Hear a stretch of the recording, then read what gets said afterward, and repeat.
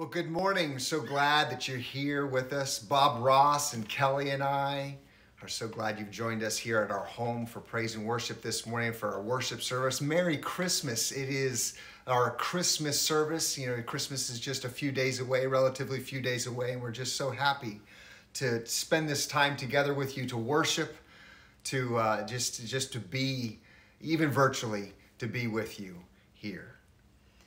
And we'd love for you to join us on, hop in on the chat and say hi. We'd love to know who's joining us today. Um, I know you're at home, and so it's it's harder to engage. But if you just try to set aside all the distractions and put your focus on the Lord, we invite you to join with us in this time of worship. Amen. We don't need a metronome.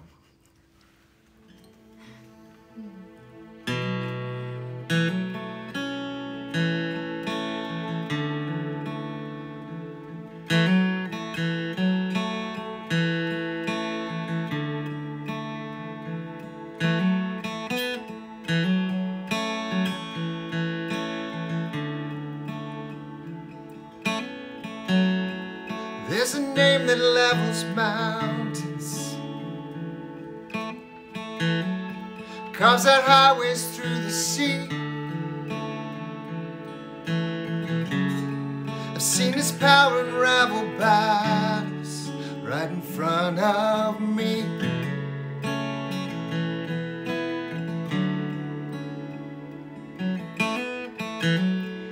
There's a faith that stands defiant. Sends Goliath to his knees. I've seen his praise unraveled by shackles right off my feet.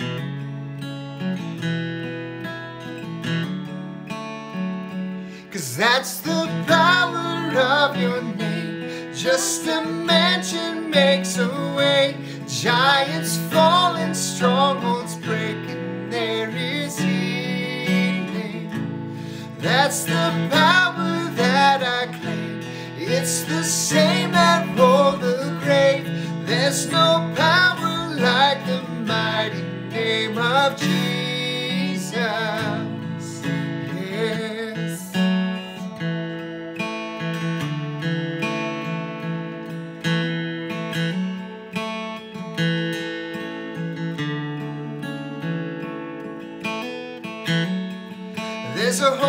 Calls out courage.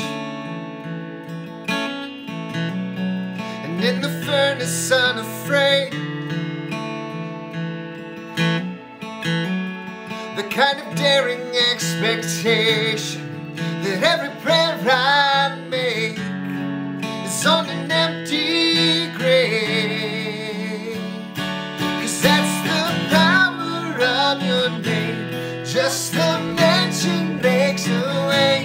Giants falling, strongholds breaking. There is healing. That's the power that I claim. It's the same that rolled the grain. There's no power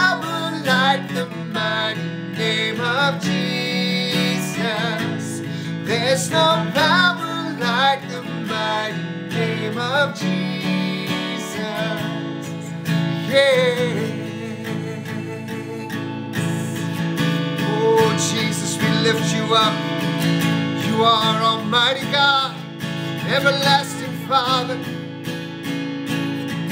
And I see you taking ground. I see you press ahead. Your power is dangerous to the enemy's camp. Yes, it is. You still do miracles. You will do what you said. For you're the same God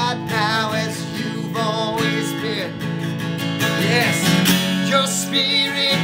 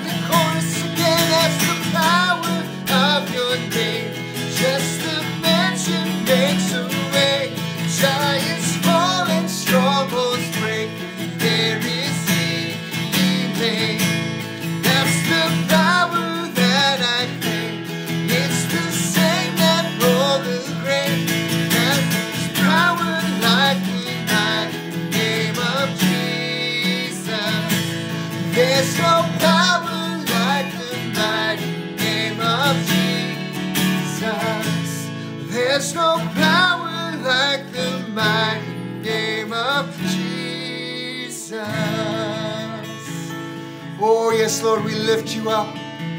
We lift your name, Lord. Hallelujah, Lord. You are Almighty God.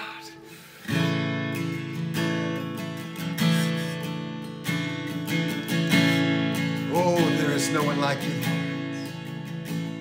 Lord. Oh, come, all ye faithful, joyful and triumphant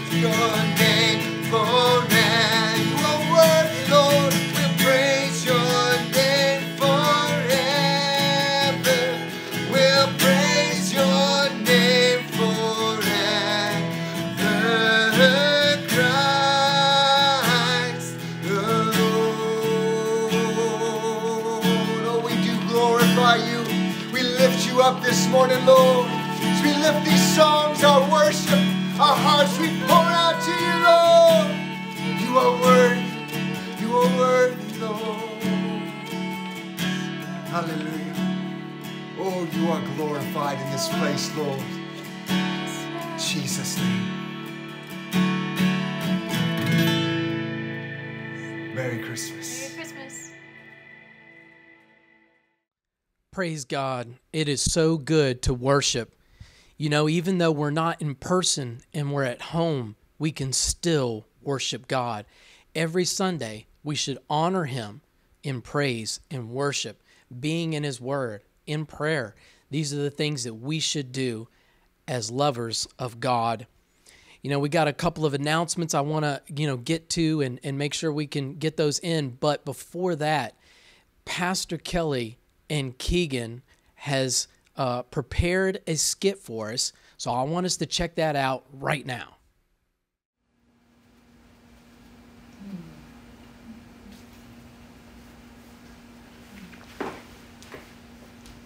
Oh wow, my wings do look bigger. Oh, Oh, hi there. hi. Is the big guy in? Um, God Almighty is always in, but uh, do you have an appointment? Um, I was sent for. Uh, that is, Gabriel's on vacation and I'm his assistant. Oh, well, uh, this is a very important assignment. Um, do you have any experience? Actually, um, have you ever been down there before? Down there? Oh, sure. I got to watch when Gabriel told young Mary that she was to be the Lord's mother. What a special moment. She cried, and I cried. Beautiful. Oh, well, I suppose it's all right then. Great. Where do I get to go? I'd love to be in somebody's dream. And am I, am I to visit King Herod? No. Oh, maybe I should start polishing my trumpet right away. No, wait, just a minute. Come back here. Um, you're actually to go out and um, visit the shepherds in the fields near Bethlehem. All right. The shepherds? Are you sure about that? Ours is not to question God Almighty. He has a perfect plan for everything. With, with the shepherds. They smell bad. And they're a little loony. No one from down there even listens to them. Um, well, God needs an angel to go share the good news about baby Jesus to the shepherds. So, um, do you want the job or not? Uh, I suppose I could get someone else. That won't be necessary. I want the job. Okay. What's the message? Um, let's see. I bring you good news of great joy that will be for all people. You mean the chosen ones of Israel, right? No, it says right here for all people. Well, this might not be so bad after all. It continues. Today in the town of David, a Savior has been born to you. He is Christ the Lord. I think I'm going to cry. Just get going. But wait, uh, remember to appear gently. Uh, the shepherds are humble folk, and well, the Lord doesn't want them to freak out. Don't you worry. This message is in good hands. I hope so. You know who will be watching from up here. Okay, let's see how it's going down on Earth. Ooh, uh, yeah. Oh. you were just about to buzz me? Uh, yes, sir. The shepherds do look sore afraid. Mm. But the message is going better now, don't you think? Oh, um, yes, sir. I can send forth reinforcements. How about a heavenly host? They can praise you and glorify your name. Yes, sir. Right away, sir. Oh, I'm gonna get demoted this time for sure. Man, that was so good. Thank you so much, Pastor Kelly and Keegan, for that. That is excellent. So, just I'm going to go ahead and get these announcements so we can get right into the word because I'm excited about the word and I believe it's going to help you in your life. So, um, midweek word. If you didn't tune in last week, Wednesday night, you missed a treat. Tiara Thompson has written a story and she is reading that story for our midweek word. So um, you'll see it on the YouTube channel just in the same way you're listening now. Um, so go and make sure you check that out because that's part one. And this Wednesday is part two. And she will be finishing that story. So you don't want to miss it again. So the midweek word, be sure and do that. Also, if you have any prayer requests, be sure send them to prayer at churchpluggedin.com. Also, offering. You know, if you, these these are our ways to give. And church, I want to thank you for your giving. We have such a generous church that supports us and allows us to do what we're doing right now with our lights and camera and all the stuff. And so I really appreciate your giving to the church. And these are the different ways to give. You can give online, you can text an amount to 703 997 4640, or you can mail this in here. You can also go and look at these ways to give and just click on the Give tab on churchpluggedin.com. So, again, church, I want to thank you for your generous giving, and may God bless you for it. So, this morning, I want to talk about a forgotten follower of Christ named Joseph. You know, there's a lot of people who simply lack the resolve to genuinely follow Christ. They'd like to, but to really go all in requires a motivation beyond what they have. I think I've been surrounded by those kind of people all my life. They follow Jesus when it's easy, when they are part of a group of friends who are all doing it. And so, oh, I'll just naturally fit in, you know, with that lifestyle. But they lack, to, lack the strength to do it when it's hard, to really follow Jesus when things in life get hard. You know, to swim upstream is not easy, but sometimes that's what we've got to do. To keep going when there is nobody standing behind them going, oh, come on, come on, come on. You know, hey, when you don't have a cheerleader, are you still following Christ? You know, so many just putter out and they fall behind because they don't have that somebody cheerleading for them. To, and what I'm saying is, is to actually follow Jesus can be difficult at times. Following Jesus ushers you into a life that is the most joyful life, but yet tribulations are here on earth, and that follows you. It- it- it- Jesus said tribulations are going to come, but now I have a Savior and a Lord to help me through those tribulations when I follow Him. John 10 10 tells us that Jesus gives us life and life more abundantly. We've read that scripture many times in the past. Psalm 16:11 says that in God's presence is the fullness of joy. Psalms 84:10 tells us better is one day in God's presence than 10,000 elsewhere. Mm. But then Matthew 16 says, Then Jesus said to his disciples, If anyone desires to come after me, let him deny himself, take up his cross, and follow me. So a sacrifice is made to follow Christ. We sacrifice our old life for a new one. And and you know, as Christians, those that are listening, you've been saved for a while, you know this. And yes, the cross is an awesome symbol for the Christian. So much so that we wear crosses, we put diamonds on them, we do it as jewelry, we make shirts and we have crosses on the shirts and all that stuff. But in ancient times, a cross was not a pleasant image. It wasn't something anybody back then wanted to think about. Back then, it was a symbol of oppression, torture, and death that caused horror in the eyes of, of, of people who saw the, any, any cross because they knew what it was for. But for Christians today, the symbol of the cross should mean dying to oneself and following Christ. As this scripture says, we die to ourselves. That's what it means to take up a cross. My life, no, it's it, I have to pick up a new life and follow Christ because I have to remember what Jesus did and embrace that new life that he gave through his death for us. For Paul, following Jesus meant suffering, sacrifice, and persecution. He gladly sacrificed because it gave him fullness of life, which was living in who he was in Christ.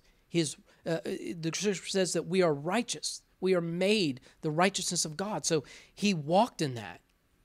And so to go all the way with Jesus, you have to have a strong grasp on why he's worth it. And he is worth it because he's Lord of all and King of all. And when we serve him, he blesses us beyond measure. And we don't do it just because of that, we do it because we love him. And you have to understand the power of the resurrection and what it means for you to follow Christ, to truly follow him. Jesus means sacrifice. Let's pray. Father, this morning, I thank you for this word. I thank you that, you know, this short word would just go into each person's heart, Father God. Lord, that you would do a work in every person that is hearing this message here this morning. Lord, just as it, it, it's affected me and it got me thinking on some things, Father, I thank you that you would just do the same in others and that all distractions would be gone and we would all listen to the end. In Jesus' name, amen. Amen. Sacrifice is what you see in Matthew chapters 1 through 2. Matthew shows you right out of the gate how difficult it is to follow Jesus and how Jesus' first followers found the motivation to go. By the way, if I asked you what were, you know, to, to name a few of Jesus' first followers, you know, uh, you saw the title of the message about Joseph, but if you didn't have that in your head, you'd, you'd be saying Peter, John, Philip, you know, one of the other 12 disciples. But Matthew starts much earlier than that. Let's look at it. Matthew chapter 1 verse 18. Now the birth of Jesus Christ was as follows. After his mother Mary was betrothed to Joseph, before they came together, she was found with child of the Holy Spirit. Then Joseph, her husband, being a just man and not wanting to make her a public example, was minded to put her away secretly. Okay. First, let's talk about betrothal. Betrothal was a, a Jewish custom of the day. A young man and his fiancee would legally get married, but they had to wait a period of time, that was the betrothal, and it was usually a year, before they were allowed to live together or sleep together, which has to be one of the dumbest inventions or traditions ever invented. Uh, that tradition, I don't understand it. But in ancient days, marriage was not an agreement between two individuals, but between two families. The father, uh, a father, you know, would choose, uh, would the would choose to to, as a father, when you choose a wife for your son, because you're you're you're doing that with another family. What you would do is you would pay a huge price to the bride's family. The parents paying the price wanted to make sure that the girl was was pure and all of that and and and so that's why they required this waiting period before you could live or sleep together. And so she would go back and live with her family after you know the the the ceremony. After the betrothal period was over, you could then live together and have relations and consummate the marriage. But in every other way during the betrothal, you were still considered married. Married you belonged with that other person, even though you weren't living together. Like I said, it's one of the dumbest traditions ever. So, well, during this betrothal period, Mary shows up pregnant. Now, can you imagine for a minute how painful and humiliating this was for Joseph? What would it have been like for him for the girl you just married to come and say, I'm pregnant and you haven't slept with her? What are you thinking? in your mind. Well, how is that going to affect you? You know, Joseph doesn't believe what she says to her. Like, oh, yeah, right. The Holy Ghost got you pregnant. And I guess he got you a pet unicorn too, right? You know, you don't believe anything she's saying. But Joseph was still, he was a good guy. He was kind. So he arranged to break the betrothal quietly. And if you look there, then Joseph, her husband, being a just man, Joseph was a just man. You know, he didn't want to make her a public example. He didn't want to embarrass her. He wanted to try to, you know, break these things off quietly. You know, legally, though, he could have raised Cain, he could have had her stoned. But then we read in Matthew chapter 1, verse 20 But while he thought about these things, behold, an angel of the Lord appeared to him in a dream, saying, Joseph, son of David, do not be afraid to take you Mary your wife, for that which is conceived in her is of the Holy Spirit, and she will bring forth a son, and you shall call his name Jesus, for he will save his people from their sins. So all this was done that it might be fulfilled, which was spoken by the Lord through the prophet, saying, Behold, the virgin shall be with child and bear a son, and they shall call his name Emmanuel which is translated God with us. Then Joseph, being aroused from sleep, did as the angel of the Lord commanded him, and took him his wife, and did not know her till she had brought forth her firstborn son, and he called his name Jesus. Now, did you ever wonder why God did things this way and did it like this? It ruined both of their reputations, Joseph and Mary.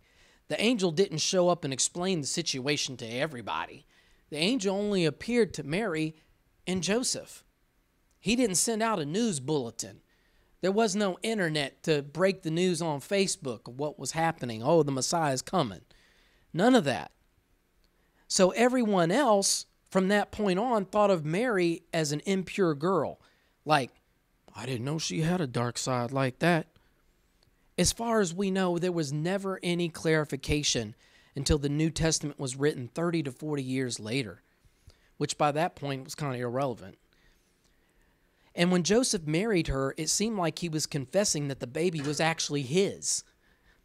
The pregnancy ruined both of their reputations in the community. This had to be hard for Joseph and Mary. Mary didn't get that wedding celebration after the betrothal period that she always wanted. Ruined not by an angry mother in law, but by Jesus himself. Not only that, eventually they'd have to flee their homeland because of Jesus. This all sounds extremely rough. And when you think about the story, you know, is this abundant life that Jesus promises? Why did why did God do it this way? And I think the Holy Spirit is laying out the pattern from Jesus' birth for how people will have to follow him. And when we do it, it still gives us fullness of life. We have more joy with our Savior in our life than we would without. I want to give you a few elements from Joseph's life about following Jesus. Jo- Joseph is not just an inspiring person from the past, he's a compelling example for the present. He is a follower of Christ. Therefore, we should look at what he did and follow his example. So, what following Jesus looks like? Three things here we get from Joseph. Joseph. Number one, trust and absolute obedience. Just look at that and just soak that in for a minute. Because Joseph had to believe the impossible and risk everything on it. Yeah, an angel showed up, but he had to still risk everything. You don't do that because Jesus is your preference. You do that because he rose from the dead, because his word says that his promises are true. His kingdom is eternal. You know, that's how we're supposed to do when it comes to the word and, and what Jesus said. We're to trust and obey him 100%. Therefore, you sacrificially give of your time, talent, and treasure. You know, one minister I read online this week, he said this If you struggle being sacrificial, it's because you lack confidence in the promises of the unseen God. Wow. See, people who lack confidence in God's promises, they'll throw some, you know, guilt money in the plate from time to time, but they'll never give in a sustained, sacrificial way, either in the church or outside the church to others. Church, we we have got to give of our time, talent, and treasure. You know, something else that we're commanded to in, Scripture to forgive others. That's sacrificial. Let me tell you. And you have to trust in what God it says in His Word and believe what He says in His Word about forgiveness. You know, there, there are people who've been through some awful situations, like maybe, you know, uh, uh, a young girl who was sexually abused by her father. That would be extremely hard to, to forgive him, and it would take time. But it would take bold confidence in God's forgiveness and his ability to work all things for good. And that doesn't mean you go and have a relationship with him still. What it means is that you release it out of your life and allow it to not affect you in a negative way anymore. That's trusting and, and having absolute obedience in God's word concerning forgiveness because we are to forgive as God forgives us, even with the you know the situations may be extremely hard. Because you know without that confidence in God's forgiveness you'll never have the strength to to forgive. You won't be able to do it. I know I'm talking to somebody right now on this point you know trust and absolute obedience. Do you totally trust and have absolute confidence in God and obeying his word? Mm. You know church look the world's not going to give you the resources. Oprah is not going to come and give you the resources to forgive a father who abused you. It's just not going to happen. You, it only comes from seeing God's forgiveness in His Word and that it's bigger than yours and greater than other people's ability to inflict evil upon you. It's greater. His forgiveness is greater than what anybody else can do. to harm you or hurt you. It's greater than all the situations you're going through. Following Jesus, really following Him, not just playing a religious game, means absolute trust in the unseen God. Do you trust Him? Number two, self denial. Self denial. This is also a sacrifice. Verse 25 tells us that Joseph didn't know Mary. Uh, you know, it says he, he did not know her. In other words, he did not have sexual relationship with her until he brought forth her firstborn son. Think about that.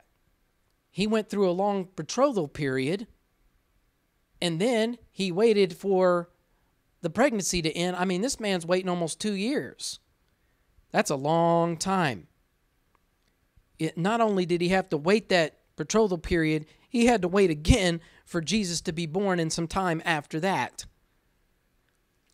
That's significant. I, I, I really do. I think that's very significant. Following Jesus means dying to yourself to some of the things you might otherwise enjoy. You know, we have singles out there that aren't willing to wait to have sex and they're not even married. Look, I'm not saying that to be condemning. I'm saying, do you have trust and absolute obedience in God? And are you denying yourself, putting yourself aside, and following God's way? When you do it God's way, you're blessed immeasurably. It's so much better, it's so much greater. Joseph was married and had to wait to have sex because it was the will of God.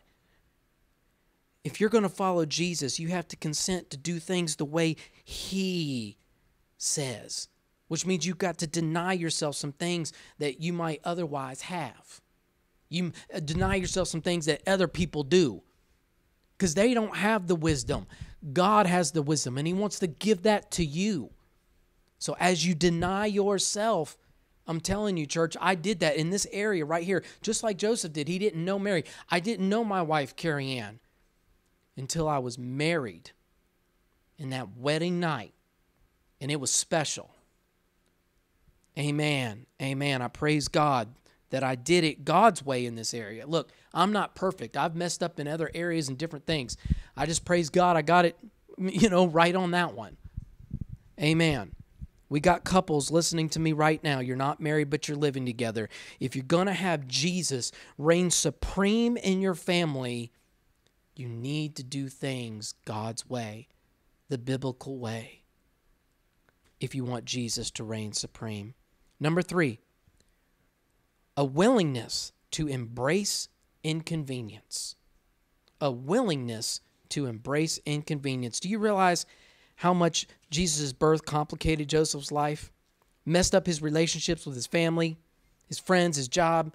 Eventually, he had to move and start over. Church serving Jesus is rarely convenient. I praise God that we have a serving church. So many of you give of your time and serve in the church, and, and you don't do it because it's convenient. You do it because you're willing to embrace inconvenience for the cause of Christ, because you love God, because you're committed to Jesus and His Word. Yes, it's true that serving the church is inconvenient, and serving outside the church is just as inconvenient, if not more. Uh, you know, helping at a battered women's shelter or volunteering at the, you know, the, the food pantry or, or, or helping your neighbors with stuff, even. Sharing Christ with them.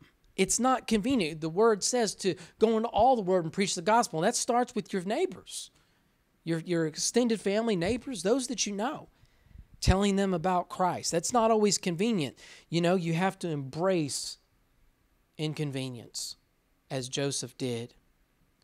Now, you might be thinking, those three points don't sound like fun. They don't sound realistic. Are you're not sure, "Oh, TJ, I'm not sure I could do that. So, where did Joseph get the strength to trust and obey God, to deny himself and be willing to embrace inconvenience? Look back with me one more time in the scripture. Matthew 1, verse 21, and we're going to look at verse 23. And she will bring forth a son, and you shall call his name Jesus, for he will save his people from their sins. Behold, the virgin shall be with child and bear a son, and they shall call his name Emmanuel, which is translated God with us. First of all, I want you to see this word behold. Behold in the Greek is idou, and it's an extremely strong word. It's like saying, Look at this. And you say it like that. Have you ever tried to get somebody's attention? Look at this. No, right now, look at this. That's what behold is. Because when you see this, you'll have the strength to do what God is asking you to do. So, what is he telling Joseph to look at? This baby is giving two names in these verses Jesus and Emmanuel. The first name, Jesus, indicates what he does, the second, Emmanuel, who he is. Jesus means in Hebrew, God saves, or Jehovah is salvation. Emmanuel means God with us. In those two names, Joseph got a picture of the glory of God. He could easily, or more easily, share in the sufferings of Christ because he knew that God would be with them. God be with us. And Jesus is going to save everybody. This is important. I've got to do this no matter how uncomfortable it is, no matter how inconvenient it is. And when you have your eyes on Jesus as he is the Savior and He is with you. He's with you through all the things you're going through. He's with you and He sees everything you do. It helps you to realize that He's right there. You can have the strength to overcome the enemy, the temptations to do things that the enemy's telling you to do or the world's telling you to do. You can put that down under your feet and you can self sacrifice, self denial. You can trust and obey God. You can be willing to embrace inconvenience like never before. Church is God with you. You know, Christmas is coming up, and I think we need to remember that God is Emmanuel. Jesus is Emmanuel. Through all the hard things that we're going through, let's remember that God is truly with us. Let's trust, obey Him, deny ourselves, and embrace inconvenience. Church, I hope this message about Joseph and his example has touched you. He's the forgotten follower of Christ. Most of the time, the focus is on Mary, and she went through a lot too, and rightfully so. She was the one who birthed the Savior. And it's probably not how she thought. But when you go back in Scripture, and I'll give you a little homework, want you go and look and see what Mary said about Jesus and the birth of the Savior. And her acceptance of what God was doing. And she counted it an honor. You could really tell. But so many, we look at Peter, John, you know, throughout the year, you know, we, we don't really talk about the Christmas story. And when and a lot of times when we do with the Christmas story, Joseph is kind of an afterthought. But what he did paved the way for the Savior to be born. And he sacrificed all to do it. What are you willing to sacrifice to follow Jesus fully? All the way, to be all in following Jesus. This year at Christmas, I believe if Jesus were here right now and you were to ask him, What do you want for Christmas? he would say, I just want you. I just want you. Be all in with me. Let's pray. Father, this morning, we thank you for your word. And Lord, we humble ourselves before you. And Lord, we say, forgive us when we've not been all in for you, where we've not followed you fully. Lord, I pray here today that you would truly be our Lord and Savior, that we would walk in the gift of righteousness that you've given to us through your sacrifice of coming, being born as a man and God here on earth, and dying on the cross and rising again. Lord, we give you praise, glory, and honor in Jesus' name. Amen. Amen. Don't turn me off. Remember, next week we'll be online here. We won't be at Gar-Field as well. And then also remember the midweek word this Wednesday night at 7 p.m. You don't want to miss part two of Boldly Go. And if you have any prayer requests, be sure and send them to prayer at churchpluggedin.com. We love you. God bless. Merry Christmas.